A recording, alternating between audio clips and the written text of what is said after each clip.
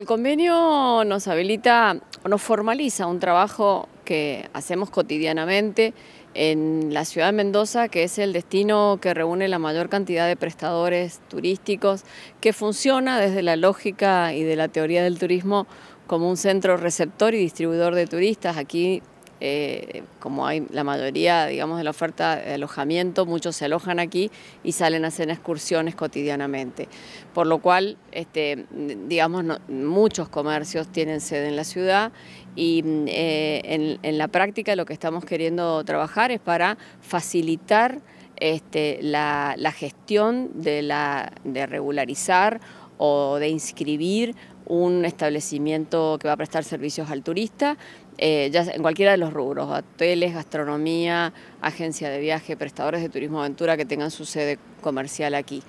Entonces, este, esto nos va a permitir que nosotros no dupliquemos la solicitud de documentación, una vez que alguien viene a registrarse al ente Mendoza Turismo, si el negocio está en la ciudad de Mendoza, nosotros no, no solamente con una, nosotros vamos a tener eh, una, una, habilitación para entrar al sistema municipal y poder tomar los datos y verificar este, que todo está en condiciones y solamente completar alguna documentación que pide este organismo. Avanzar con protocolos, procedimientos, eh, sistemas que simplifiquen eh, la gestión de los prestadores turísticos tanto ante el ente como ante el municipio. Esto es muy importante porque estamos convencidos de que el turismo es uno de los motores de la economía de Mendoza. Es muy importante también para la ciudad, que es ciudad anfitriona de